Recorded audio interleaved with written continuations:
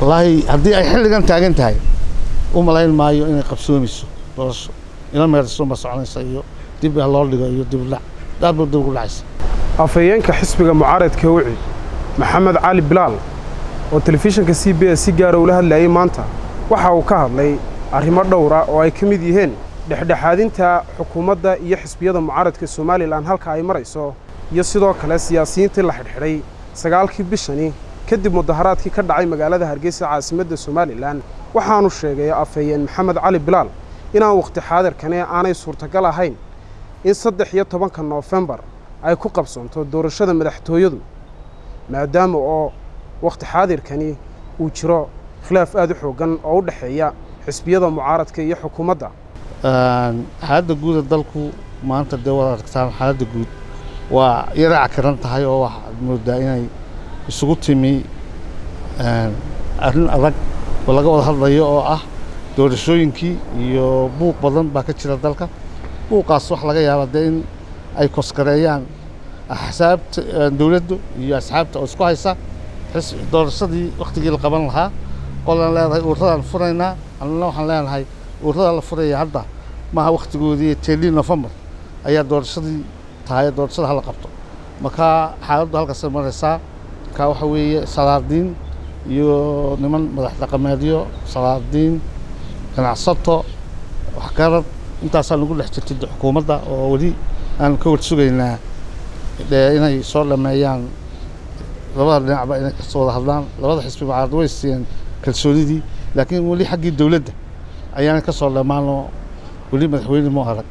Saas weeye hawsha halkaas maraysa si fiican waxaa jirta iyaduna arrinta komishanka doorashooyinka la filayaa in dhowaan amaba maantaba laga keenay golaha wakiilada hore xisbigiina ucid gaar ahaan guddoomiye faysal alwaraale wuxuu sheegay inaanu kalsooni sidaas aan qabin oo ka warran iyada xisbi ahaan kalsoonintii lagba ku qabtay maanta haddii la haysan wallaahi dee waxay la tahayba haddii kalsooni iyo kalsooni la'aanba.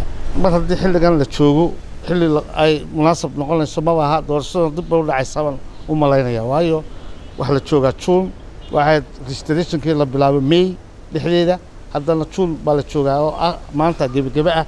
Markaa ila meeriso unbaa soconayso?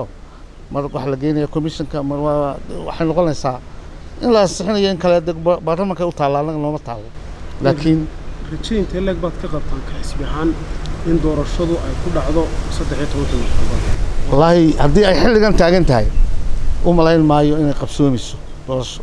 Ila meeriso ma soconaysa iyo dib loo dhigo iyo dibudhac aad ba dib ugu dhacaysa muhiimku waa commissionka. Commissionka la qabta doorashooyinka commissionkaas oo la helo mooyaane.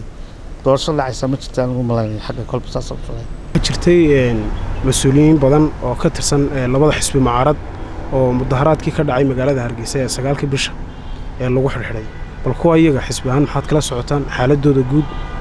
Walaa dee xaaladda guud mandheeraa loo dhaadhiciyey oo ay ku xidhan yihiin waana sharci daro qof muwaadinah oo doonaya inuu muujiyo xuquuqdiisa muwaadin ahaaneed uu ku muujiyo mudaharaad. Salmi ah oo aan dhibaato aanay geysan cidna ma dilin xabad ma qaadan. Waa xaaraan bay ku xidhan yihiin waa in la sii daayaan baan leenahay waana cambaaraynaynaa xaligooda waxaa jirtay oo aad hore sheegteen inaydun hakin u samayseen ee mudaharaadadii. Markaa bal isleedihiin dib u bilaabay. Ergadii noo maqneed baa weli maqan. Ilaa ergada aanu ka hello war waa ka war sugaynaa waa maxamed axmed cabdilaahi maxamed xudayfi telefishinka c b a hargeysa